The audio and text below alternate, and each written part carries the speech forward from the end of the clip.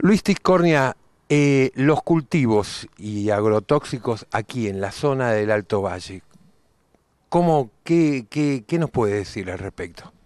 Bueno, el problema del de, eh, alto uso de insumos eh, llamados agrotóxicos o químicos, esto es plaguicidas, herbicidas y fertilizantes químicos, es una característica de la llamada agricultura de tipo industrial o agricultura moderna o la agricultura típica del sistema o del modo de producción capitalista. Es un modelo de agricultura eh, que tiene serios problemas o atenta seriamente contra la salud de las personas, contra los equilibrios medioambientales eh, y, por lo tanto eh, estalla. Digamos, es un modelo que no tiene sustentabilidad ni social ni económica y obviamente ambiental.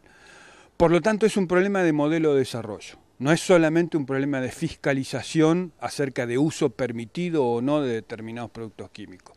Esto es, modelo de desarrollo estamos hablando. Eh, si la producción de alimentos está ligada a la maximización de la tasa de ganancia de los grandes grupos económicos, bueno, da mayor ganancia producir con muchos agrotóxicos o eh, deteriorando el medio ambiente o deteriorando el suelo. Es necesario, por lo tanto, limitar este, este aspecto en, lo que es la producción económica de los alimentos, o sea, eh, poner límites a la maximización de la tasa de ganancia del gran capital.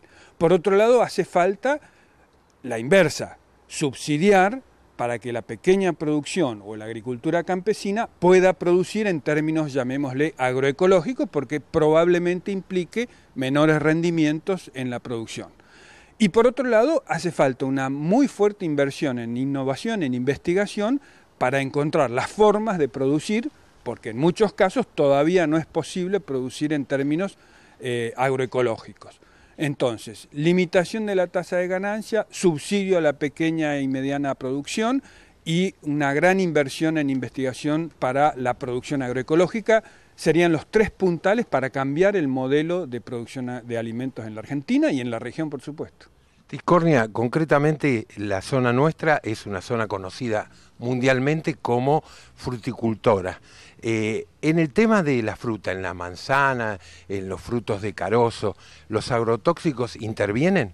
Bueno, es una actividad que tiene un altísimo uso de agroquímicos, en particular para el control de plagas la famosa plaga de la carpocapsa.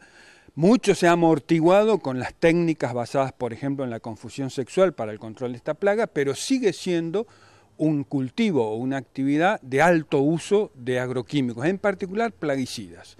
Por lo tanto, eso tiene mucho que ver, eh, eh, digamos, con el impacto negativo en la salud. Ya hay, ya hay resultados en investigaciones que hablan de este, deterioro de la salud, en particular en embarazadas, en las mujeres que viven en el ámbito rural, al estar cercanas a usos, a, actividad, a lugares donde se produce fruticultura con alto uso de agroquímicos. Eh, probablemente en el largo plazo el alto uso de fertilizantes tenga impacto en las aguas de los ríos, ¿no? particularmente porque todo lo que se agrega al suelo va a drenar a los ríos.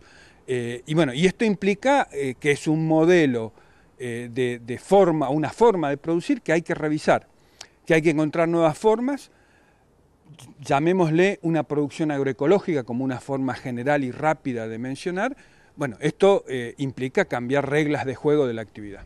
Hasta lo que usted conoce, los pequeños productores, que son gran mayoría también todavía, que subsisten en el Alto Valle de Río Negro y de Neuquén, ¿conocen los riesgos cuando utilizan los agrotóxicos, todos estos elementos que usted nos está hablando? Eso se conoce, lo que pasa es que es inevitable para seguir produciendo con las reglas del juego actual. Por lo tanto, es un callejón sin salida si no hay una política basada en la promoción o, o, incentivo económico para que el que tenga que bajar rendimientos, por ejemplo, pueda producir. La agricultura con bajo este, uso de agroquímicos implica inevitablemente una mayor incidencia de las plagas o menores rendimientos. Por un lado eso. Y por otro lado, innovación tecnológica. Hay cosas que todavía no sabemos hacer sin usar agroquímicos. El pequeño productor está encerrado en las reglas de juego del sistema y de la economía regional, nacional y mundial. Esas son las reglas de juego que hay que modificar, por lo menos para lograr la subsistencia de la pequeña y mediana producción.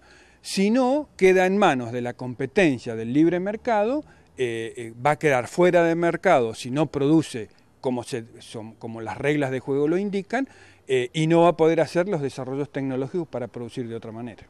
Lo que quiere agregar.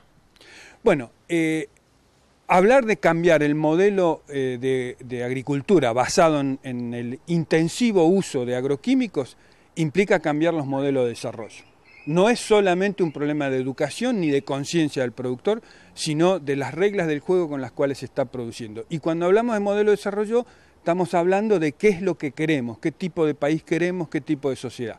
Si queremos una agricultura basada en la pequeña y mediana producción, hay que tomar medidas para eso. Si queda libre al libre juego de las reglas del mercado, la pequeña y mediana producción desaparece, más allá de la producción agroecológica o no. Ingeniero Luis Esconia, muchas gracias. No, por favor, gracias a usted.